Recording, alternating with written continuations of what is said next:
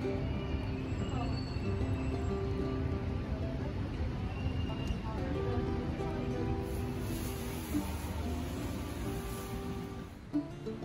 name is Shannah and I'm an oil painter. This is my studio space and right now I am in the middle of producing for a show so I have a lot of pieces here I'm working on at the moment. I use mostly found dried leaves and flowers as subjects in my works. I love walking around and exploring places, mostly gardens, and if I see something interesting on the ground, I pick them up and they soon find their way into my paintings.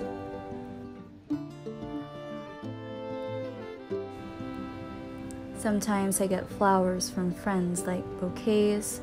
Sometimes I get stuff from my neighbors as well. I love painting those. The process is quite meditative for me, from picking up the found objects to composing them into the images that I would soon paint.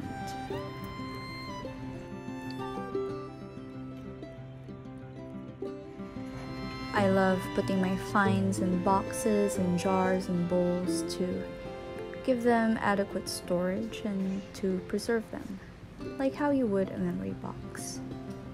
I used to keep a lot of those when I was younger.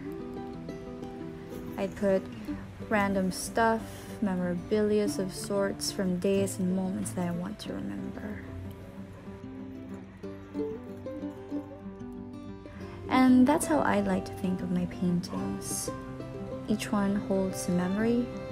They are personal stories, mostly moments of silence and slowness, and a lot of fondness, like entries from a diary.